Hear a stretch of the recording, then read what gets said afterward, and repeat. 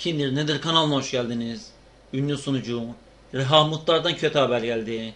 Geçtiğimiz günlerde evinin merdivenlerinden düşen Reha Mutlar entübe edilmişti. Daha sonra uyandırılan Mutlar'dan yine kötü haber geldi. Solun sıkıntısı yaşayan Reha Mutlar yeniden entübe edildi.